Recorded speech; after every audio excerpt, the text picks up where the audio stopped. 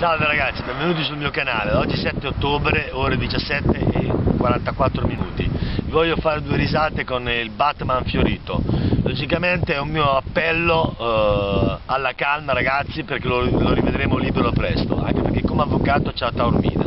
e io sono fortemente preoccupato per lui e vi spiego anche la motivazione. Ragazzi, inutile che andiamo a ricercare le 14 case, il SUV, la Jeep per la neve, la Smart per parcheggiare più facilmente, anche se ho dubbi che i 150 kg riuscivano a starsi perché la Smart, quindi non lo so perché l'ha comprata, forse giusto per avere un oggetto in più, non lo so. Dopo, logico, tutte ste robe intestate al partito, sai com'è? Normale che dopo lui gli ha detto, eh vabbè ma cosa famo? E allora ha detto lui c'era questo problema, vabbè me l'intesto io logicamente. Taormina dice lui comunque non ha problemi, cioè voglio dire, è della famiglia facoltosa molto ricca, però logicamente quando doveva andare a Porto Cervo usava il bancomat del, chiedeva a Boschi, segretario del partito che era suo cugino, gli chiedeva guarda c'ho andare a Porto Cervo, non è che posso usare il bancomat del partito, sai quello della banca non so se gli avrebbe dato i soldi, magari anche se era facoltoso, magari sai con la crisi economica che c'è, magari gli facevano delle, delle cose e poi sta gente qua dei, dei, quartieri romani diceva sì, ci invitava a cena una volta all'anno, ci metteva 100 euro sotto al piatto, sai, noi li prendevamo,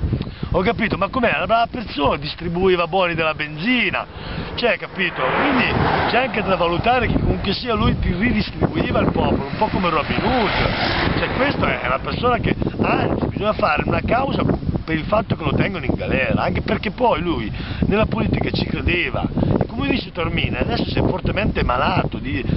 con il diabete, lui rischia un collasso, hai capito? Dette all'insulina, perché lui non lo stress de, del partito, l'ha resa merendine e Coca-Cola, adesso il caso si è tolto anche le merendine, lui ormai è quell'alimentazione lì, quella cattiva alimentazione per, a causa del partito. Quindi ragazzi adesso qui a Tormina c'è anche da difenderlo perché oltre che non può calcio che soffre di diabete che è pauroso,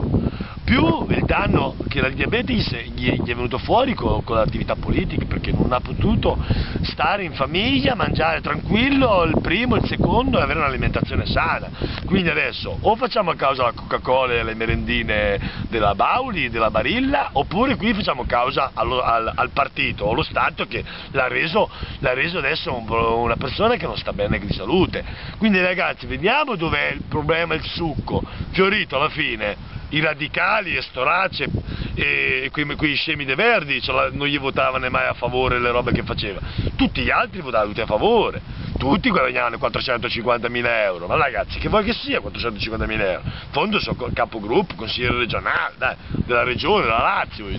poi voglio dire, dato ispirazione a tutte le altre regioni, noi abbiamo esportato in tutte le regioni d'Italia un nuovo modo di,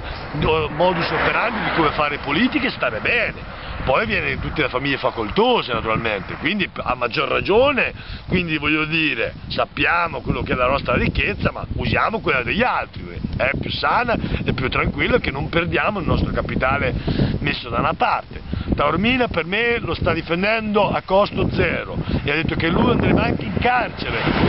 per stargli vicino, perché gli vuole talmente bene che lui tutte queste cause un attimino un po', un po problematiche da difendere, lui se le prende tutte. Naturalmente io ho solidarietà e stima per Taormina, vorrei essere anch'io un, uh, un, aiutante a Taormina nella, nella causa e gli direi uno spunto di tirare fuori anche una causa contro lo Stato per il suo diabete, che non può stare incompatibile col carcere e in più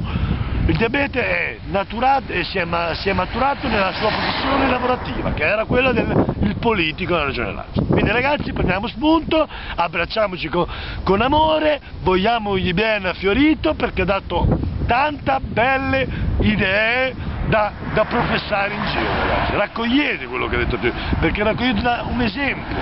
ragazzi ci vediamo, oggi siamo a Montignano, cercatelo su Google Maps, e, uh, e se poi vedete l'Aspromonte, non lo so se ci va nel metro cubo, gli faremo due metri cubi, proprio logicamente lo lasciamo lì, poi c'è il diabete, il problema, quindi il pane non so se lo può mangiare, il diabete non va bene il pane, quindi lì bisognerebbe un attimino studiare l'alimentazione, anziché il pane, non so, faremo feci e urine, che tanto è tutta roba sua, poi se non caga non piscia perché non pia altro, pazienza, vorrà dire che non è una, una pianta sana, dire, non è che ci possiamo problematizzare della vita degli altri, lui, lui non si è problematizzato della sua vita, anzi, tutt'altro. Ci vediamo ragazzi, Montignana è bellissima.